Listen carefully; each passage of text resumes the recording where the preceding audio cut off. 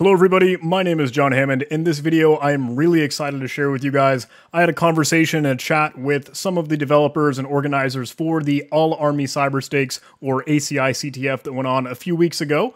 And I, I think it had a lot of incredible and awesome insight that I wanted to share with you guys all about, okay, not only playing Capture the Flag, but hosting a capture the flag, putting on an event, maintaining everything, and all of that goodness. So on the call with me, I have Tillery, one of the lead organizers over at Grim, who put on the All Army Cyber Stakes Capture the Flag competition, and Alex from Storm CTF, who also helped out in creating the event and making some challenges. So, uh, without further ado, let's uh, roll the call and conversation. So, thank you guys. Hope to see you at the end of the video, and take care.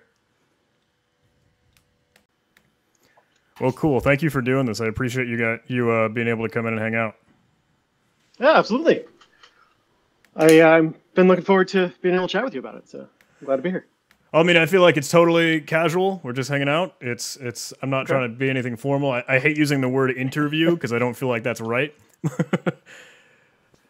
but some good sure. questions on everything about cyber stakes. Uh, I'll probably, if you're cool with it, have this recorded uh, just kind of on my side, and I'll go ahead and edit it afterwards. Maybe add just a silly intro as to like who we are, what we're talking about, etc. Um, and mm-hmm. if you're all comfortable with it, I can probably upload it tomorrow in place of what would have been the cyber stakes video for that day. So. Okay, yeah, that works with me. Cool. Should we just roll on ahead? Should I just like badger you guys with questions? Are you all?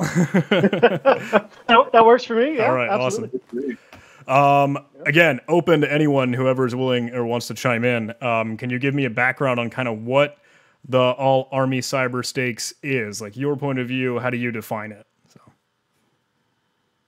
Sure yeah. I, I mean i'll talk a little bit about that. Um, obviously its its name kind of describes it a little bit but it's it's the premier kind of largest uh, most engaged dod ctf training kind of event that really exists. There are there are a lot of these types of things. Some of them are attack defense, some of them are just kind of larger C- CTF kind of concepts, but none of them really hit the level that the AACS does. So um, I think of it as less of a CTF, although it very much is, and there's a leaderboard, and more of an opportunity for training, um, which is why I'm so excited to work on it. This is this is our second year at Grim working on this and, and doing development, because ultimately this is less about being a competition and more about getting all of that information into people's heads and, and guiding them along as we go. And obviously, we work really hard to make it like fun and a competition. But um, I run a training team because I want to do training, and so that's that's why I built this out the way I do. Awesome, that's awesome. How long did the competition go for? It was only was it a week? Is that right? Uh, it runs for 10 days. Okay. Um, and the, the idea is that we want it to be able to go over at least two weekends. So it starts on a Friday, goes over one weekend, keeps going for the entire next week and then over the last two days um, to give everyone a chance to compete, whether they're uh, doing this as their primary, you know, deployment or not. Uh, so a lot of people are in um, development or, or, training in some some way, uh, whether those are folks coming over West Point or you know elsewhere in the DoD or other other branches. Um, and some of them can dedicate time just to doing this. But most of the people that are doing it are going to be doing it in the afternoons and the evenings and the weekends in between their actual deployment. So we want to be able to make, give as much time as we can to people who can't just do this as their primary tasking. Yeah, that's awesome. I, I honestly got started on it on the weekend because I think it opened up on that Friday and on the weekend, and then like once Monday and the rest of the week kicked in, it's like, well, I got to get back to my day job, so I couldn't submit as right. much time as I wanted to. Is that normal for you guys? Is that always what you do? I mean, I know other there are obviously tons of capture the flag events and competitions out there. Um, is that kind of normal for you to being able to have a competition that runs so long, or is that always the goal?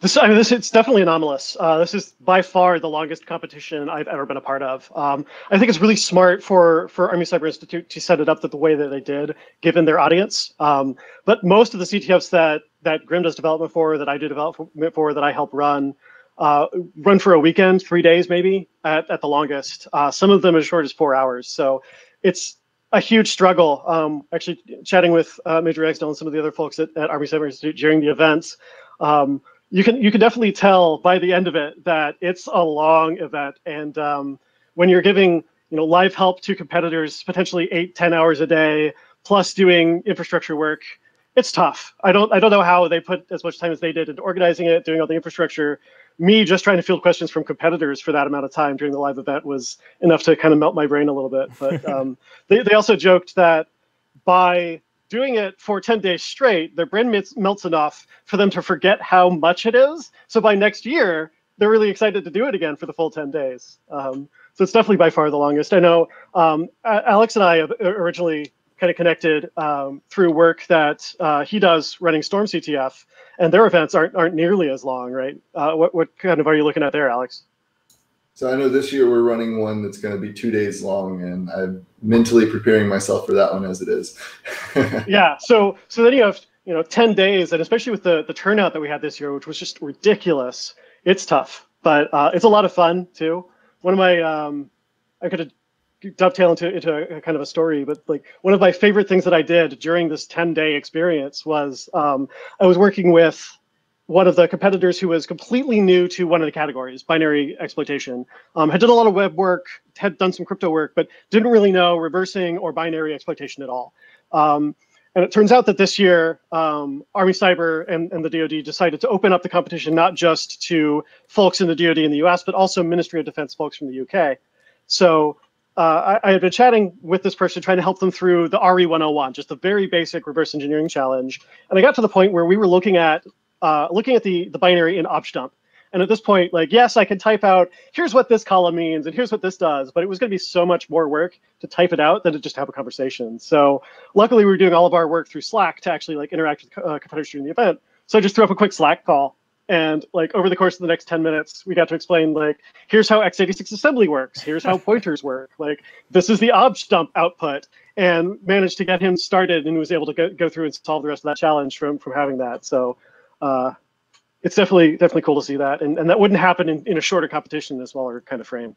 That's awesome. No, yeah, absolutely. I mean, both of you, you all play capture the flag, like you yourself, right, Alex Tillery? Yeah. I see you. Yeah. I see Grim all the time at conferences. I remember I'm still trying to get into some Howdy Neighbor over at DEF CON, um, yeah, and sure. Storm CTF over on Alex side. You're we're cool to. I guess Tillery mentioned, hey, Storm CTF is one awesome thing that you do, right? Yeah, yeah. We we also build um, some CTFs as well. Um, just we're more of a dealing with the non not for profits and things like that. We deal with a lot of the local chapters and things. So that's super cool. I'm I'm just excited to just kind of have this conversation with both of you guys, both of you all. I mean, not only as a CTF player, right, but I like to try and build some things myself when I can.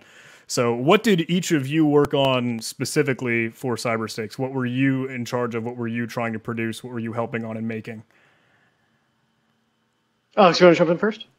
Yeah, yeah, sure. So I was actually a developer this year. Uh, nice. Previous year, I was actually a tester. I did a little bit of testing, but mainly I, I was in charge of creating a, a few web challenges. Um, I'm not really the binary exploitation and or reversing guy just yet. So uh, web's kind of my specialty when it comes to building.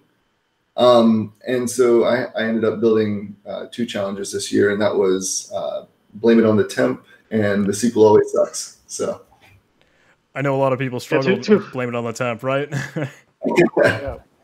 Yeah, those were two challenges that um, they, they really got a lot of depth of thinking from competitors. I fielded more challenge more more challenge questions probably from uh, from that SQL injection challenge than any other SQL challenge I've ever run. And, and that was because like we, the way we designed it was not a simple SQL injection you win. You actually had to take a couple of extra steps to get in there. So uh, those were those were both really good challenges. I'm really really glad we had Alex to work on those because awesome. they definitely went beyond kind of the, that that basics. Um, so I'll jump in now, I guess, and, and I'll answer this question. Uh, my my role was kind of split between a bunch of different things. Um, at its core, I I was the technical director for the project on the Grim side. So um, a lot of a lot of that was communicating with the technical folks over at Army Cyber Institute, um, working with you know all the developers we had and, and, the testers to make sure that everything was kind of going smoothly. Uh, the day-to-day operations, I, I had actually um, one of one of our really talented employees kind of handled, uh, uh, and uh, that was Straith, if you know her, um, was was handling most of that day to day and the uh, kind of operations there. The bigger picture and the overall design of all the challenges is kind of where I came in. So um, my job was let's let's take what we want to teach and what we kind of have as feedback from last year, since uh, Grim also did the development on uh, AACS 3 and kind of build out what what can we do that's going to be better this year So rather than starting with a bunch of challenge concepts like we did last year, um, I kind of made a list of these are the learning objectives that we know we want to hit, and we want to make sure people learn these things and in these ways. And then we took those learning objectives, we took those and turned the, you know, my, my job then was let's make those into something that is a solid concept for a bunch of challenges. And then I got to make pun-based names for all of those. so uh, I, I, like to think my biggest contribution is that every single challenge had a, a pun for a name this year. So that, that was my big thing. Awesome. But um, yeah, the, the overall technical direction for the project was my goal. Awesome. Very cool. How many people were working on the team? Like, how many did you have overall? Can I ask? Is that okay? How many hands, or yeah, how did you uh, divvy uh, up the work? Uh, yeah, let me let me take a look at the spreadsheet that we use to track our challenges nice. and do a quick count. That's Let's awesome. See.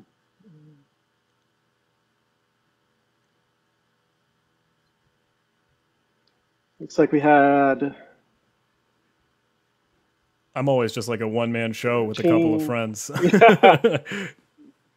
had a total of uh, 14 developer, 15 developers um, across the challenges. So everyone took on at least at least two challenges. Um, we we developed 50 this year uh, nice. for for Cyberstakes. So there were uh, 73, I think, challenges overall in the competition. 50 of those were developed by us. The others were developed as either the tutorial challenges or a little bit of introduction ramp into difficulty for each of the categories. And those were developed um, over by Army Cyber Institute to kind of fill out uh, what we did. And part of that is because um, last year when we did this, our challenges were just too hard. Uh, some of them were just ridiculous to the point that we couldn't even deploy them. And then, oh you know, the, the things that we called 500 point challenges last year on the scale that we use this year probably would have been 750 uh, and and only a handful of them got solved. So we pulled that back a little bit, focused more on the learning objectives, like I said, and and um, tried to have a smoother kind of learning ramp, which I think we did really well oh, yeah, with. absolutely, um, I think so too. And one of one of the kind of the, the joint decisions Army Cyber Institute made was, you know, the, the really low hanging stuff that every CTF needs, but that is the same every time. Mm-hmm. We weren't going to be doing the development on that, right? They were going to take that on, kind of develop those, which where you get kind of that that 23 intro ramp up challenges. Um, and then we would start coming in at, at like, for example, in, in, binary exploitation, we have a uh, we have a jump ESP smack stash, right? But it's not just like your basic jump ESP stack smash. There's a little bit more involved in there. That was um, uh, whereas was, the, was, that your cup overflow with? Is that right? Yes, nice. It, yep. so that was that was that was our version on our development side of RE 101. And so anything earlier than that in difficulty was developed by Army Cyber. And and again, that was because they, you know, we, we had a conversation and made the conscious decision that if we're developing 50 challenges, we want to put, you know, our expertise into the ones that are going to be more technical and more technically demanding. Um, and also try and hit those learning objectives in ways that are are new. I didn't want to make anything that was like an off-the-shelf boring challenge. So even the things that are, um, you know, this is a stack smash. It's a challenge you've seen a million times. Mm-hmm. How can we turn that on its head just enough to keep you know, not just the people who are new learning, but also the people who aren't interested in, in progressing. Cool.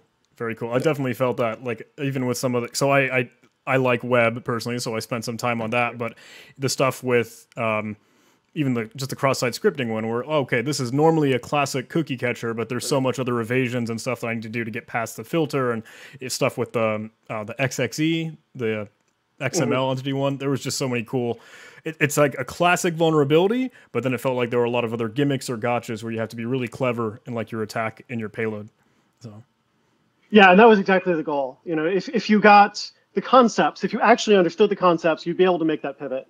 But if you were using off-the-shelf tools or you know, we're, we're just kind of trying to, to throw brute force at it, you wouldn't necessarily get there. And that was kind of that was kind of the goal. Um, the later the challenge is as well, the more of that there is. So oh, you yeah. mentioned the XXE challenge. Um, that one was specifically designed so that you can't do this unless you actually understand what you're doing. cool.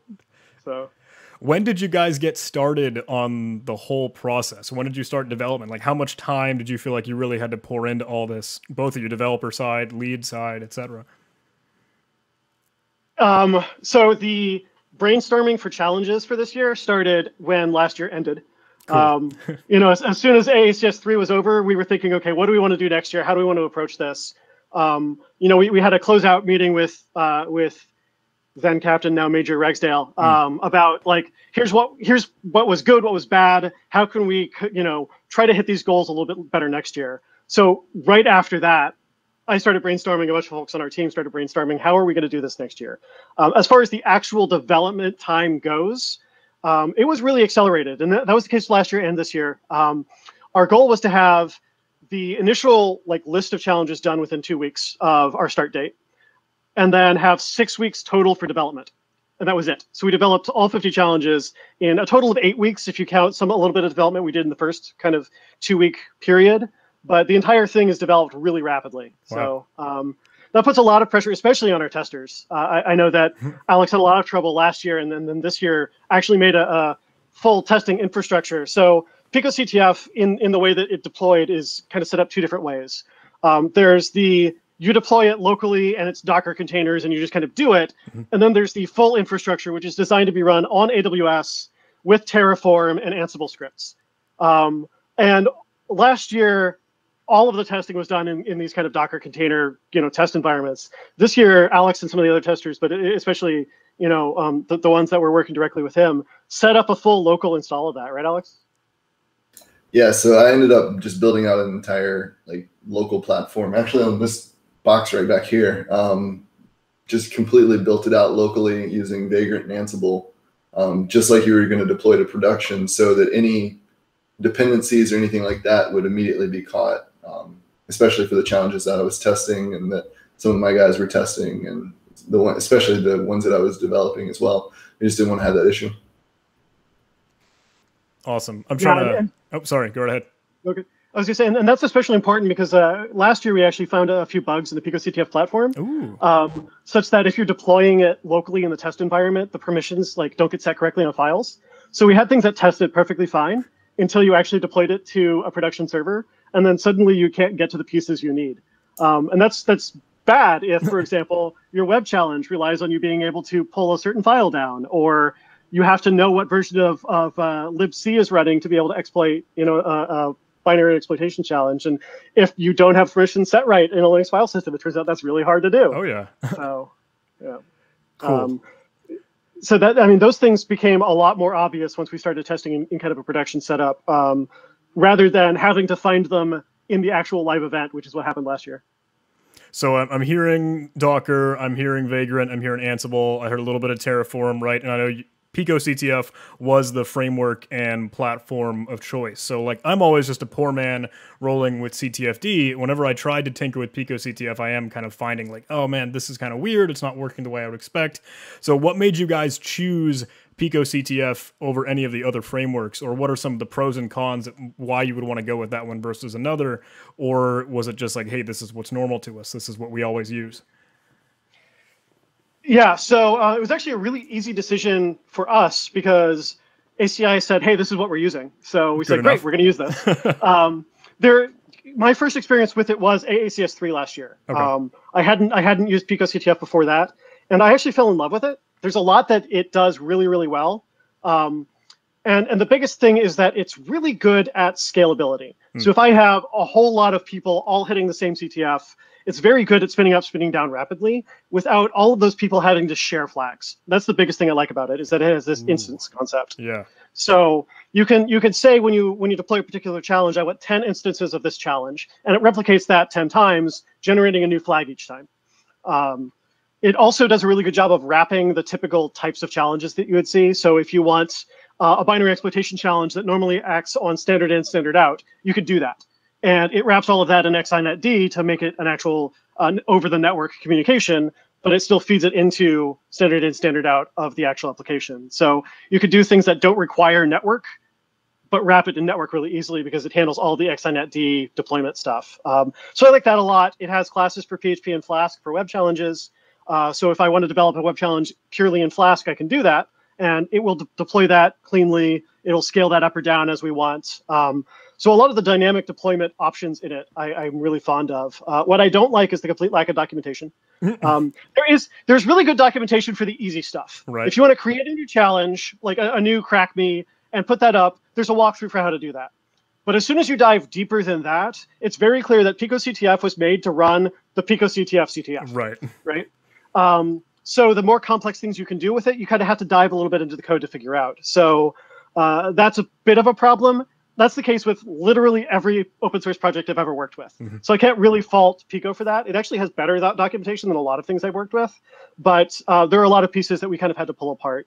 And then the other issue that it has, which a lot of frameworks have that aren't just scoreboards, right? CTFD is a scoreboard, which you have to do all of the infrastructure yourself. Whereas Pico is not just the scoreboard, but it's actually also all of the infrastructure, including all of the deployment.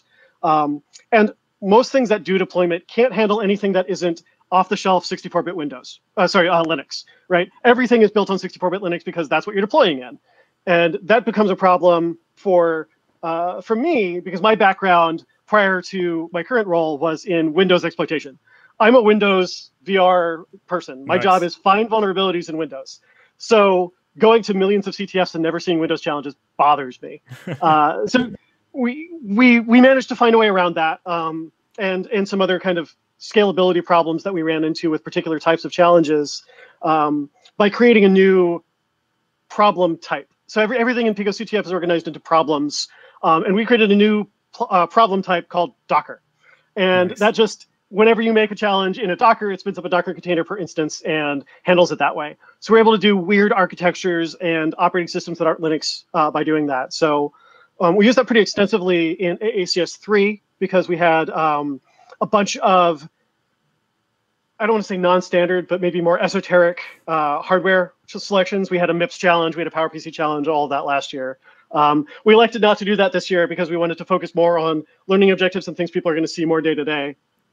But it also allowed us to do uh, Do You See What I See, which was one of my favorite challenges this year, which nice. is actually running it's actually running a full command line only Windows install for each deployed instance. Um, it's running that inside of QEMU, and then QEMU is sitting inside of Docker, and then Docker is being deployed by Pico CTF. Holy cow. Uh, which is part of why that challenge was as slow as it was. Um, we also we were able to get that down to only actually requiring 256 megs of RAM, which is not something Windows wants to do, but you, you can do it. Um, nice. So uh, the big thing, the big game that it had for me, I guess, my short answer is I like frameworks that handle deployment for you. I hate doing deployment. Um, I'm not a sysadmin. I'm terrible at that sort of thing. So if I can make my framework do it for me, great. All I have to do is hack up, you know, some Python code, and I have a challenge. Um, but that's me as a developer and hacker if you look at someone who has more of a, an architecture background or, or deployment background, they want more power and more control and the ability to do things like create entire domains. Mm. So they're going to have more hands-on there. And, and actually, Alex and I were talking about this just earlier today about this exact question. So I dive into some of your concerns with the platform if you want, Alex. Yeah, yeah. So that, that kind of goes back into um, the, the infrastructure and having the the sysadmin background because that's where I come from. I come from being a Windows sysadmin and systems engineer um, and some of the challenges that we're trying to uh, look into building in the future, uh, specifically myself, um, for be it Grim or my own personal reasons, are domain based challenges, challenges such as resource based constrained delegation, um, which only exists in an Active Directory environment, or passing the hash attacks with domain joined computers exploiting vulnerabilities in group policy, things like that. Those don't exist, and and unfortunately, some frameworks uh, such as Pico CTF, and it's not to rip on that platform, but they just don't support that specific type of problem just yet. Um, I'm sure that there's easy ways to to implement that with some plugins, kind of like the Docker type and things to that nature. But um, other platforms, other CTF environments that don't have the deployment built in help me a little bit better um, in, in those kind of aspects. Um, yeah. Yeah, I think ultimately it's right. What is our goal, and does the platform we're using support that goal? And in a lot of cases, Pico CTF will, and in a lot of cases, it won't. Did you stick with kind of the flat setup that Pico CTF and vanilla gives you, like AWS and Terraform deployment? Is that right? Yeah, so so overall, it's, it's based pretty heavily on, on what Pico uses. Um, all of the infrastructure was set up by ACI, and they did a great job of, of managing that and, and keeping it all running. So uh, as close as I had to do as far as touching that was to have a, an account. Um, we, we added my SSH key to the, the deploy user so that if something came up, I could fix it. But cool. um, for the most part, yeah, they, they were able to spin that up. The things that are built into it are actually really good, and the, the documentation for it is, is pretty usable uh, from what I found. Although, Alex, you dove into that quite a bit more. um, yeah, I did run into a few issues um, with some of the the way that we were finagling some of the challenges. Um, I don't specifically remember anything in particular. Tillery, did you have one that you remember that we ran in specifically during development? Um, so I, I, will say that we tried to do a lot of things that the platform doesn't really mean for itself to do. Uh. So so we, we did have to kind of pack around uh, around it for, for quite a few things. Um, the shared resource based challenges are kind of the biggest ones. So blame it on the temp was tough because yeah. when you have you know we when you have as many competitors as we did, or or even as we planned for, which was significantly fewer than we had, hmm. um, you you end up with you know ten or more people on one instance. And if you have 10 or more people on one instance and you have resource constraints or you have to write to the file system in a particular way, then you, you can definitely end up with things where it interferes with other users. And that's hard to test for. Um, you know, every, every challenge we developed has an automated solve script. So when we're doing that, we can try and throw that script around and see if anything breaks. But if it relies on the correct process going the correct way every time, we might not notice edge cases and corner cases. So that's that's definitely something that that we ran into some in the manual testing, and then we also saw during the event. Blame it on the temp in particular. Um, at least a couple of people accidentally found the path to solve the challenge because of something someone else had done rather than right. their own work. Yeah. Um, and that's not a bad thing necessarily, especially for people on the learner side, but it's definitely also not the intention. I think I remember yeah. seeing it even even while I was going through Blame It on the Temp. Is like I can see some other leftover files or some entries that they're leaving in that in that Jinja template, etc. Uh, but yeah. I mean, yeah, I mean, just kind of like you said, the nature of the beast. So you mentioned, yeah, and I don't think that it actually. Sorry, sorry. I don't think that it actually detracted from anyone solving that challenge or, or getting the most out of it. Um, if anything, it kind of gave them just the prod that they needed to find their yeah. way down, which we're not too upset about overall. Um, I, I, try to limit the amount that I give out to competitors beyond what hints were given for, for a couple of reasons. One is fairness, um, and the other is that you know a, a, small prod and then you figuring it out means you learn more than if I just walk you through the solution. So um, so ultimately, those little artifacts being left around, I, I, don't think that they're too much of an issue, but definitely not the intention. You mentioned yeah. those uh, Docker type challenges. Sorry, Alex, I didn't mean to stomp on you. No worries.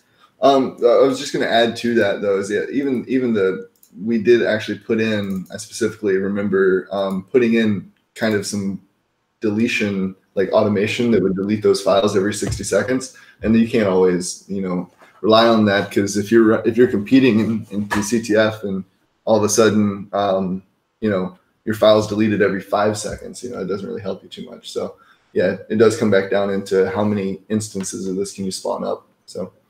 Yeah, and mitigation can only go so far. Um, for for the uh, SQL challenge, for example, we we wanted it to be solved using an automated tool. We knew that, uh, and we wanted it to be a step further than just running a tool. So we we put um, we actually implemented that one in PHP, and there are some just really basic checks for your user agent. I saw and if you're using a default agent, user right? agent, yeah, yeah, it just drops you. Um, so you have to figure out how to change your user agent, understand a little bit, and and you know we wanted to mitigate in part people just running those tools and walking away.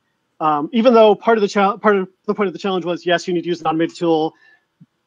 We couldn't provide the resources for that to to have that available to everybody all the time. Mm. Um, but also we couldn't mitigate so much that people can't solve the challenge, and we can't mitigate so much that you know we can infinitely spin this up. So it's it's a hard balance to catch, especially for things like that. Um, so there were there were two major challenges now that the CTF is in learner learning mode that we couldn't deploy. And one of them is that one, just because we burned through more processing time on that challenge than everything else combined. Oh my gosh. Um, and the other is the one that sends out emails. And we actually got ourselves blacklisted from a couple of uh, email systems because we were sending out so many emails to people trying to solve that challenge. That's hilarious. I know you had mentioned the the Docker instances and how you that Docker type that you added for the Pico framework. Is that the one that will let you kind of start and stop a specific port that you can access, kind of per, per player? Is that right? Yep, that's that's right. Yeah, it, it, kind of gives you an activate button that that spins up a new uh, Docker container. You can communicate with that just for you, and then when you're done, it gets torn down. Um, or if you don't interact with it for a while. So our, our goal was we want something that's works for challenges that have to be completely self-contained for one user. Mm-hmm. We want something that works for odd architectures because that was a big goal that we had last year. Um, and then we want something that allows us to do uh, things that running on top of just core Linux doesn't. So um, a lot of that requires containerization or emulation of some kind, and the easiest way to do that was just wrap it all in Docker. Um, all of all of that work was done by one of our really smart engineers. Um, that is also so. Grim has an IT department that is roughly three people, and uh, our, our IT department is also on other work everywhere else. So one of the folks that's in uh, in our AppSec team that worked really heavily on this project last year, um, Ben Lipton, also developed this uh, this new class for Pico because I basically kept complaining we couldn't do things, and he wanted me to stop complaining. Hmm. so he developed this this Docker uh, type so that we could create these challenges that we had ideas for. Um, and it's gotten improvements and iterations over the last year, and it was better this year than it was last year. More stable, more capability. So our, our plan now is uh, now that it's it's safely in the hands of, of Army Cyber as its maintainers, they're going to push it back up to uh, upstream Pico, and it'll be available for, for anyone that uses the platform. That's awesome. That's awesome. Alex, I know you had kind of been working with that, or I thought, right? Were you kind of on keyboard trying to wrestle with some of those? But I didn't see them on the SQL Always Sucks or Blame It on the Temp because those had the shared resources. Was that a hmm. different mentality, or? Well, yeah. So I was I was a tester for a lot of the challenges that required Docker. So okay. I didn't actually develop any of the challenges that were built into Docker, but I did um, I did have to interact with that Docker platform quite a lot, actually. Hmm. Uh, probably a good five or six different challenges, whether I was testing them or um, someone else was testing them off of my device. So, yeah, it was it was definitely, um, and I will say, it's definitely night and day improvements from last year on that platform. Um, it was much easier to spin up after talking with one of the one of the Grim guys on you know the actual process, getting the documentation down. It was a lot easier to do, and I think Pico CTF is really going to improve off of that very quickly.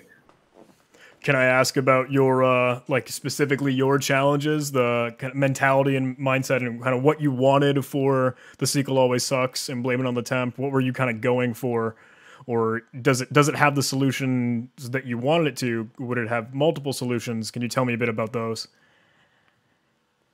Yeah, yeah. So um, I'll start with the SQL. always sucks. Um, so that challenge, like like Tillery was saying, it definitely was supposed to be more of an entry level SQL injection challenge, but we definitely just didn't want to run SQL map done. You know, right? Definitely that.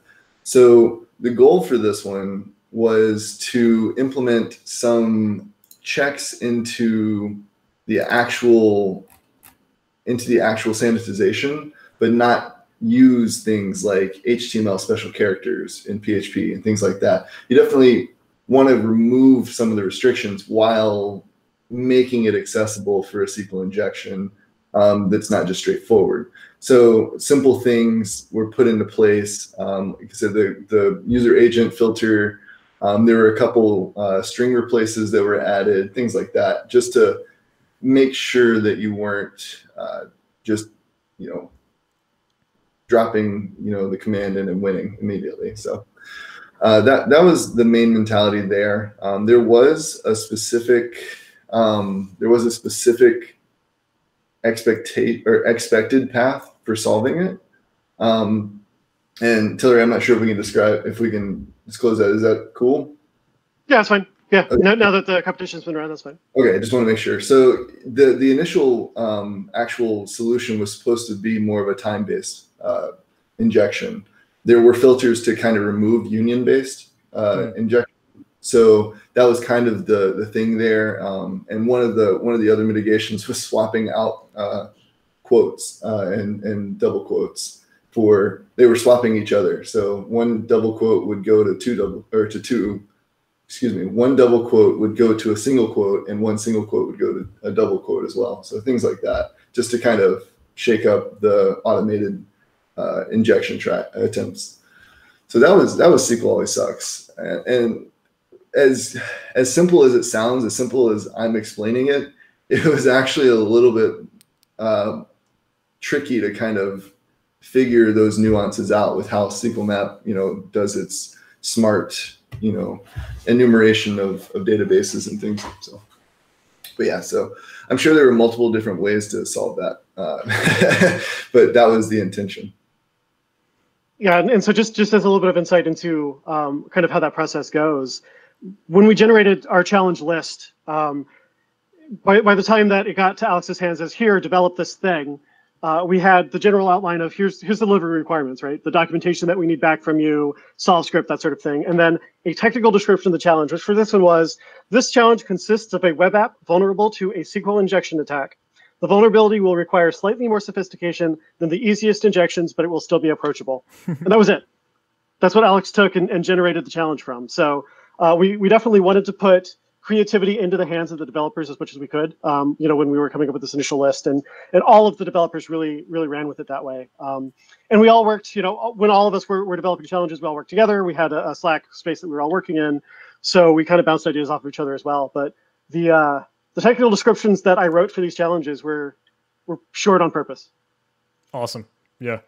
Let the let the developers just kind of run with it. I thought it was really cool to see SQLite for one thing because I guess I don't see that all the time, especially when it's supposed to have that bigger scale. But I guess hey, that's mm-hmm. part of the problem with that challenge being so resource extensive. Um, but the timing attack was really really cool. I tried to avoid SQL map because it, it just kind of gave me so much trouble connecting back and forth. But that was Good. really really cool. yeah, one of the um, one of the things that a lot of people um, overlook is that SQLite actually does have a way to do multi uh, multi-session writing. Really? You just have, yeah, you just have to set it up a, a certain way. Um, but I, I, don't know if it's undocumented, but it is a pain to initially uh, do if you're not looking for it. So you can definitely do that. Um, but I can, I, yeah, I can talk about uh, blame it on the temp too. Um, so this one was actually very interesting because I'm kind of a Flask fanboy. I really do like Flask. Um, I, I, like the flexibility of being able to go, oh, this didn't quite format quite properly. Well, it's Python, so I can just make it do that. Nice. And I really like that you can do that, mix Python with a web application. It's great. Um, but what was very interesting is that I had never really, I, I know what a SSTI is, I'd never actually built a challenge that implemented server-side template injection before. And so when I was assigned this project or this this challenge, it was one of those, okay, um, let me research this a little bit and figure out exactly what's going to be needed for this. Obviously, we're going with Flask because I have no idea how to write anything in Node. So, so it, it, was quite a, a no-brainer to, to write it in Python. Um, the challenge, I, the way you actually solved it in your your video that you did, was actually shorter than the proposed solution. Really? I yeah, I actually spent. Um, if I go back and and I look, I think the solution that was written was probably 211 characters, I think, um, just for the payload itself, the actual callback. But I did a full, I think I did a full reverse shell and everything as well. So um, yeah, I think you called one of the base classes a little sooner than I did.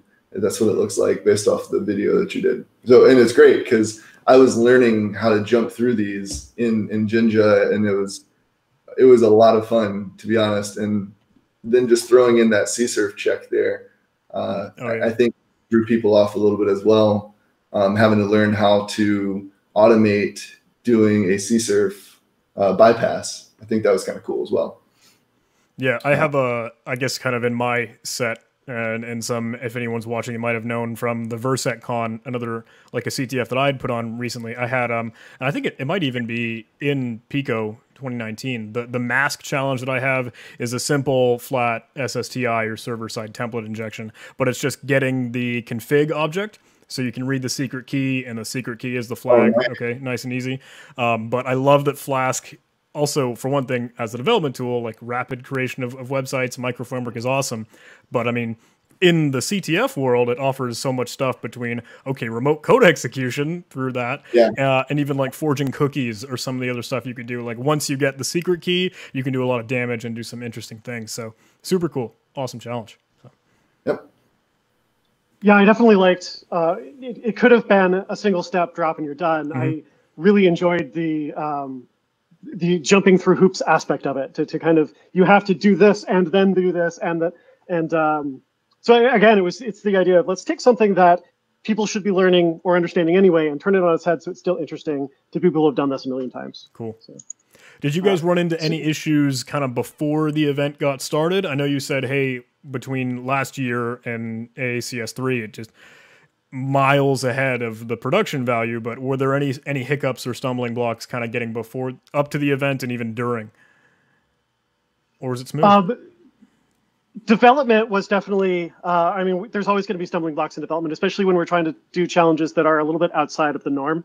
So probably half the challenges had some kind of stumbling block in the process of developing it. Uh, but but overall, um, especially comparing last year to this year, it was it was super super smooth this year. Um, I'm really happy with everything that turned out, both during the process of development and during deployment and during the event itself. Um, the single biggest headache that we hit was for "Do you see what I see?" Really, and, nice. and that was because we were we were trying. To, I knew I wanted a binary exploitation challenge in C, and we'd written uh, we'd written some last year, but they didn't get deployed. They ended up not being used because the overhead to do it was really high. Uh, the plan originally was we have this Windows server, we're going to set that up, but only for these challenges. And Pico doesn't support that out of the box. So we'd have to add additional stuff to it to make this one server work. And so we just didn't deploy them last year. And I didn't want that to happen again this year. So we had to come up with a way to incorporate Windows as a binary, an actual runnable thing inside of the Pico environment. And getting Windows to run inside of QEMU, inside of Docker on Linux is not easy to begin with. Right. Um, getting it to run small enough that its resource requirements aren't huge and we can actually deploy several of them, also difficult. Um, so when you put all of that together, it, it's really, really hard. We also knew we wanted to deploy this thing from a single static image if we could, because having to duplicate the entire Windows hard drive a bunch of times um, is a huge resource requirement on the disk side. So we, we actually implemented it to use a bind mount so that it could just use the one bind mount for all of the deployments. It spin up really fast. Um, in the end, when we actually deployed it in the competition, we decided to take that back out. And that did increase the requirements. It made it so that every instance that we launched of Do You See What I See took a minimum of 10 gigs of space on, on disk. Wow. Uh, just to launch the entire Windows system, which is why we had been going for a bind mount. But that has its own restrictions and it limits other things that you can do. So by taking that out, we were able to deploy it more easily, faster, more of them, but it took a lot more disk space. Um, so we actually had to completely re-implement that challenge twice in the process of, of uh, developing it to get through all of the headaches and, and hoops that we had to jump through to make it work. So that was probably the biggest hiccup. Cool. My my roommate um, Caleb, and he's much much more of a of a binary ninja and like reverse engineering and exploit kind of oriented than I am. So I remember he he wrestled with that challenge, and I was was I think it, that was the seccomp filters, right? And the, kind of the buffers. One was working in one direction, the other was reverse. Am I thinking of a different one? That's yeah, you're thinking of a different Uno. challenge. This Uno. one maybe. Who knows? this one was a, a mostly straightforward stack smash. Um, although a lot of people ended up building ROP out of it. Okay. Uh, which is an interesting kind of an interesting takeaway for me. We we built the binary such that it had uh, ASLR enabled and DEP enabled. Mm. Um, but we then disabled them on the system so that you actually could just jump straight to the stack and execute it. I saw that in, in a write up. It looked like, okay, the binary had DEP on, but the actual server right. had it off. Right. And, and so that's, that's really a lesson learned for me. Um, like it, it, it, there are lots of ways to figure out that it's off on the on the system. Okay. And we, we intended for that to be kind of obvious but it turns out it wasn't nearly as obvious as, as we wanted it to be. Mm. And that was a problem because we, we have this thing that, that like we, we designed to be a fairly straightforward, you know, binary exploitation challenge now turning into blind ROP. And that's hard. You know, yeah. it becomes a really hard challenge, um, completely unintentionally. But that's also it's also my favorite challenge for two reasons. One, because I'm a Windows person, but two, it's actually based on a real vulnerability that I found in my first year as a vulnerability researcher on Windows um, I had a piece of software that was a single threaded application. So it used select in a loop. And if you went down one path, it would read. And it had a read bug that lets you read more of the stack than you needed. And if you go down another path, you can write. And it had a write bug that lets you write too much of the stack. Um, we decided to modify that a little bit so it wasn't just a stack smash. We actually had offsets in an array that we used for this challenge. Um, but I took this real world vulnerability that I found back in 2010 back when I first started doing you know VR on Windows and turned it into this kind of fun, cool, slightly different CTF challenge. That's awesome. Very cool. Very cool. What, what did you guys use for in-game support for the players? I know you mentioned the Slack channel, and I saw that. Uh, was that like, hey, the best means, the only method, like get in contact with organizers or facilitators? How did that work for you? Why Slack other than Discord? Or I know people use like cheesy email, and that that doesn't help. yeah. So there, there were email addresses that you could send send things to, uh, okay. particularly if you had like account lockouts, that sort of thing. Mm. But the the primary method was in Slack, and there are a few reasons for that. Uh, for one thing, Slack always feels slightly more professional than Discord does. Fair. Um, yeah, fair enough. But we also use the Slack and the fact that we have we can do shared workspaces to do a lot of work during the event. Um, we had you know developers and, and, management and stuff in the Slack prior to the event. Excuse me. So it was really easy to just kind of open that up to everyone since we already had all the users there. Um, the other thing is that the private channel support in Slack is better than Discord, in my opinion. So you know we had we had a bunch of private channels that only certain people were in without having to manage a whole bunch of server roles and make it really obvious who's what um, and that kind of made it cleaner as well but um, that was definitely that was the primary method of, of contacting really anyone for support and especially the developers during the event I guess that's totally true. Kind of looking back and thinking, I mean, I know you have the different groups between, okay, the DoD side, some of the DHS guys, and different branches in between. That's totally much easier to keep private rooms in Slack than it is in Discord. Cool. Yeah. Very cool. The, the only way you can really do it in Discord is to create group-based restrictions and then assign those groups to people. And everyone, there's no way to hide what groups are members of in right, Discord. Right. So. Very cool. Yeah, I, I tend to use Discord, but it's always like an all well, an all out brawl when things get to it. I mentioned. Yeah, well, and, and Sorry. I was going to say Grim, Grim, has a public Discord that we use for you know communicating and, and interacting with the excuse me that we use for interacting with the community at large. Um, and we don't use Slack for that because if you want a whole bunch of people in there, Discord's a great tool. Oh yeah. If you want a select group of people that have specific kind of roles and responsibilities, maybe Slack is going to be a better tool. So cool, very cool. I know you mentioned last year, once you were finished with AACS3, you immediately got started planning for the following year's cyber stakes. Are you guys already planning next year's cyber stakes? What does it look like? Can I can I ask? Can I peek behind the curtain? What are you thinking? Yeah, I mean, I, we're definitely thinking about ideas, and some of that's going to be taking uh, the lessons learned we have from this one. Um, for example, I'm definitely not going to do something that requires you to send an email to every user next year. that was a big problem. Um, but uh, as, as far as the challenges go, I'm, I'm, trying to find think of new ways to do some of these same concepts, but in a new way, right? Because every every year is going to have a, sna- a, stack smash, right? Mm-hmm. Every year is going to have a SQL injection, right? How can we keep that interesting across years? So that's kind of what I'm I'm starting to think about now. Um, I also want to start incorporating more of the kind of important esoteric things that you you don't see as much of.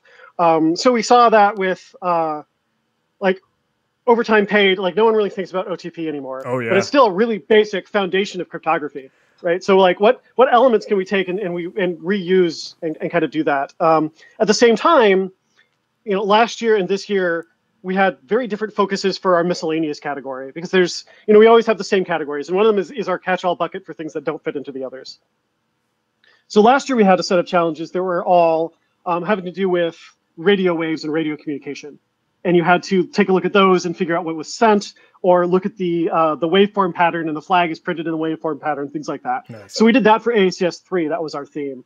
And for four, we wanted to try and put more of a kind of defensive mindset on it. So we wanted more things that fit into forensics, more things that fit into kind of defense and, and hiding of information. So I think I want to lean into that a little bit more next year. Uh, start trying to think about how can I take a Jeopardy style CTF, but make that interesting to blue team players and I'm just starting to spin on that a little bit. But that's I think that's what I'm going to really try and do for our miscellaneous category the next year. That's awesome. Yeah, I remember seeing the audit log challenge, and I know you mentioned overtime overtime paid. I was beating myself up on overtime paid because like, oh, this is clearly a one-time pad. Obviously, between the challenge hint, title, and everything, I could see it in the source code. But then it's like, why can't I figure this out? And it's like, well, the very first line is exactly what you need, having that known yep. value. I was like, wow, cool. Yep. I spent way yeah, too much time we, on we that. made sure that there. Yeah, we, we wanted to make sure that there were a few a few cases of that. So there's actually three lines that are the same for every oh, file. the intro, a line full of spaces, and then the outro. And you can pick any of those three lines and that'll get you the key. Nice. So, and, and again, that kind of goes back to our, our idea that we don't just want a challenge that you can throw a script at and win, right? We want something where you have to actually understand what is the learning objective here? What is the thing we're actually looking at? Because if you don't know how one-time pad works, and don't know how XOR works, you're not going to solve that challenge, right? But if you do, if you actually understand what's happening in the challenge, then you'll start to see that path forward and be able to solve it. Um, and we, we definitely found in some cases that once we started doing playtesting, some of those were difficult because the path forward wasn't necessarily obvious without a lot of knowledge about it. Mm-hmm. So in those cases, we had to add to the hints because you know we, we want something that yes, you need to understand it to solve, but we want something that you need to learn it and understand it to solve, not something you have to have been doing this for five years to solve.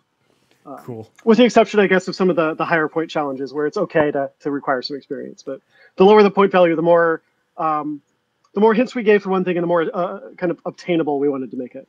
Well, I think having kind of, as you said, the idea and the whole concept that it shouldn't just be a throw a tool at it and immediately get a flag. It's kind of being able to understand and know the concepts behind some of the source code that you provide and stuff like that. So I think that is definitely a signature of a, of a good and high quality CTF. So kudos to you guys. Um, Thank you what uh, I think, kind of to, to, wrap it up, which would be a cool thing for hopefully some others that might be listening in or watching. Um, what do you think is your best advice, or what would you tell someone who wants to do this sort of thing themselves? Like, hey, they want to host their own competition, they want to put on a capture the flag. What should they know? What what tools do they need to know? What technology should they be smart on? Uh, what is your words of wisdom to someone that wants to do this too? Um, yeah, so I, I, have a few things, and I'm going to split it up into sections. Cool. Um, one of answer. them is one, one of them is you have to host a CTF, you have to host a CTF. Right. So knowing how hosting works is really, really important, and a lot of that comes down to infrastructure. If you're not great at infrastructure development yourself, you need a framework that handles it for you, like Pico. If you don't want to be limited by the things that your framework let you do, then you have to understand how to do that hosting and how to do all of that kind of management and spin up. And to do that, you have to have a really good understanding of the scope that you're targeting. We were not targeting 2,047 solvers for this, this competition. That's what we had. We had 2,047 people with at least one point, and that is huge. Um, if we hadn't had something so scalable, that wouldn't have worked. So knowing what your target audience looks like is really important, but also being prepared for something a little bit beyond that. Um, we were really excited when we started seeing the numbers coming in, and I think a large part of that is that you know, this was a thing you could do remotely in a time when not, a lot of things can't be. Oh yeah. But um, you know, preparing for that kind of unexpected is really important as well. And then the other half of it is to host a CTF, you have to host a CTF, right? You have to have a concept of what you want to be doing. So knowing what kinds of challenges you want or what your objective in doing this is is really important. For us, this is a training platform first and a competition second. That's not to say that making it a competition wasn't important, and I think we did a good job of that. But at its core, Cyberstakes is about learning something, and it's about everyone that's competing, even the high level people, learning at least a thing. That's not going to be the goal of every CTF. Sometimes CTFs are to test your skills, to see how good you already are. I've seen companies use CTFs as uh, recruiting mechanisms, and if that's your goal, great. There's absolutely nothing wrong with that. But you need to know that's your goal and really lean into it. So know the types of challenges you want, know the difficulties you want. Are you giving hints? Do you use something like CTFD that charges for hints? And if so, how do you set that up, right? And um, so kind of knowing that's really important. So, so my kind of two key takeaways are understand your platform or what or, or your platform requirements and have that ready to go, and understand what your actual goal is for the CTF and build around that. A CTF that tries to do too much on either side of that isn't going to be successful. Cool. That's some good insight. Sweet. Alex, I know you do this all the time. You got anything to, to toss in? Yeah, no, just one of the major things that I've learned um, in doing this, not just from a hosting side, but from an actual development side, is you have to have a mechanism to keep yourself on pace and on track with development. Um, for example, some of the the CTFs that I've built in the past um, we started eight months before the event's even supposed to start, and we get done a week before the CTF just because of personal problems, personal issues, work. You know, this you know might not be your primary job, these things definitely get in the way. So having that buffer time, um, planning for the unknown, and uh, and definitely using a, a tool. Um, I, I, like two different ones, whether it be Jira or Asana, to just kind of keep yourself in pace with you know what you need to accomplish, and then having you know a project manager, if possible, just kind of tell you to you know, hey, this is due. I know you have other things going, but this is due. You should probably get on that. Yeah, those those are really good points. I'm I'm blessed that I get to do this for a living. Um, you know, building building this event was the thing I was doing while we were building this event. And when I'm building other CTFs, that's the thing I'm doing. When I'm building a new training program, that's the thing I'm doing. So I'm, I'm definitely really lucky that I got to turn this passion into into the thing that I actually do for a living, and it's really exciting. But a lot of people are doing this as a hobby or as a side job or whatever, and it's it's definitely a good point that you need something to keep you on track. We we set ourselves up in sprints, so we had uh, uh, an initial planning sprint, and then we had our development sprints, then we had an integration sprint, and then the actual event was a sprint, and all of that was accomplished in a total of ten weeks, not ten calendar weeks because we we ended up moving the CTF uh, because of a couple of reasons, but um, it definitely if we hadn't kept on top of that, and if if uh, Strafe hadn't done such a great job of, of keeping our developers and our testers in line and and on task and meeting our deadlines, there's no way we could have delivered it. So cool. Those are really good insights. I, I am trying to like take it to my own heart because if I if I want to do some other something like this too, uh, even just hey host a game on my own between some of the other events that are going. There's so much remote conferences and virtual events right now I know a lot of people are asking, "Hey, can you put on a game? Can you put on a capture the flag?" So those are that's cool. Those are really good words of wisdom. Thanks. Sweet. All right, I don't have a whole lot of other questions. I know we're wrapping up and getting really close to an hour point, so unless there is anything else either of you would like to add in, any other if not, also totally cool. Thank you so much for being able to being willing to do this, have this conversation. Appreciate absolutely, it. absolutely. Yeah, yeah. I don't really have anything else to add. I just really um, enjoyed the opportunity to talk about kind of some of the stuff that we're doing. Um, you know, it, seeing a capture the flag, a lot of people sometimes, and I'm not saying everyone, but sometimes people take them for granted um, that they're just available. They're oh, just yeah. challenges that are readily available, um, and they're not. You know, it takes a lot of work because people write them up. You know, uh, I know there are tons of write ups for ACI already um, for some of these challenges. Those are burned. You can you can't use them again in a, in a CTF that's going to be, um, you know, for prizes and things like that. So these takes a lot of time. So if anyone, you know, if anyone is building a CTF, know that your work is definitely worth something because it, it takes a lot of effort to put on that stuff. So, yeah. Yeah, for sure. Just just to echo that. I mean, when we plan internally on my team, we expect developing a single challenge to take between 40 and 80 hours of development time. Wow.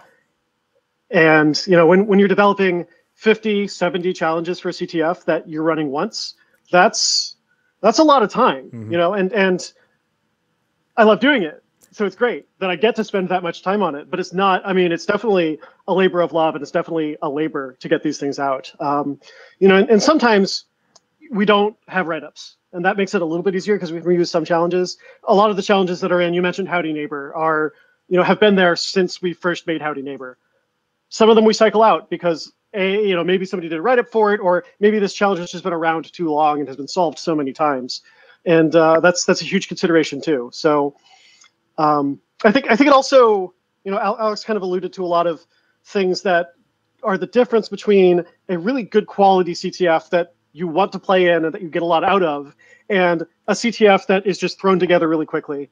And you see a lot of complaints, especially like I was reading a bunch of threads on Twitter just today about how CTFs are terrible because they always are solvable by the same tools or whatever. And and that comes down to how you develop your CTF, what your goals of your CTF were.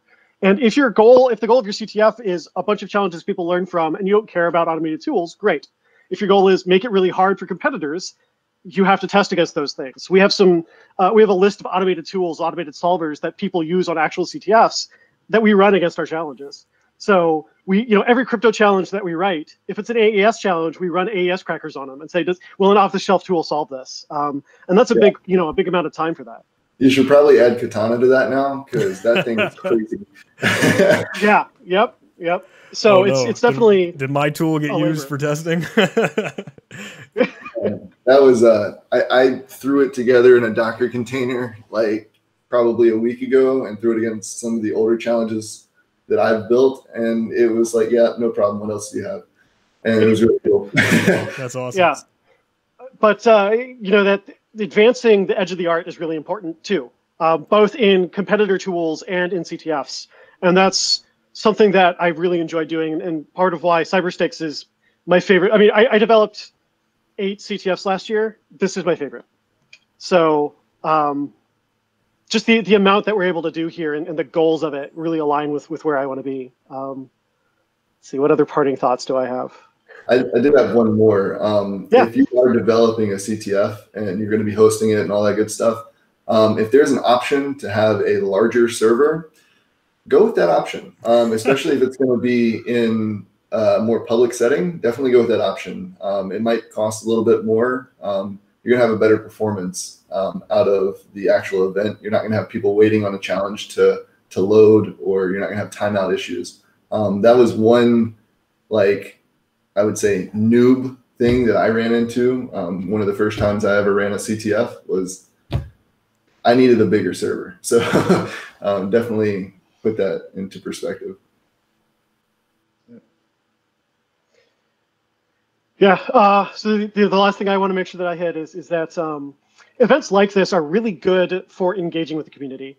And as as someone who um, spends most of my day thinking about how to train people and less of my time thinking about technical solutions to problems than I used to, um, and especially as I move more into kind of management level things, directing these projects instead of getting to develop the challenges, that's really important for me. Um, both to understand where we are in the community, but also to understand like how far behind I am so that I can catch up and that's really important to me. Um, but then also, you know, building better challenges, building better community in general is also really important. So um, I actually jumped at the chance. We had a much more active part this year in um, kind of troubleshooting challenges as they went and interacting with the competitors than we did last year. And I jumped at the chance to do that so that I could be interacting with with all these folks. Um, so that's that's really big. And you know, I try to continue to do that after the events end, which is why I was so excited when you reached out. Uh, you know, to kind of having this conversation is amazing and being able to have conversations like this in slack as they continue to, to kind of ping me or in discord in the grim discord um, is really great. So i really hope that that continues both as, a, as an outcome of this ctf and all ctfs kind of as we go forward because ultimately you know competitions should be bringing us together rather than apart and it's a really good way to do that by kind of pulling the, the community together. Absolutely. Yeah. I love it. That that's a that's a great way to end it. So well, hey, both of you did a absolutely superb job. the The game was fantastic. I'm really looking forward towards next year's, and I mean, uh, I, I, have nothing but but great things to say. And this has been a fantastic conversation. I hope there's been a lot of awesome insight for others that are that are listening in and wanting to learn from it. So, uh, thank you, thank you, thank you. I, I can't say it enough. This is this has been fantastic. So. Yeah, if anybody has any questions or anything like that, feel free to reach out to myself. Um, I'm sure Tillery feels the same. So, yeah. Absolutely. Yep lots of ways to get hold of me. So fantastic. And uh, a shout out and a special thank you to all the people that did compete because you know putting all the hours into developing yeah. challenges is nothing if we don't have people actually solving them. Yeah. So um, I've been really really happy with the the number of people that have not only tried and, and learned something from this, but continue to engage with it and with, with the other people that are still solving. I think that putting the challenges back up in training mode, you know, in training mode is one of the best choices that Army Cybersecurity could have made because now, you know, that, that conversation that's happening is to keep happening. So thank you to everybody that's been participating. And thank you, John, for having us on. We'll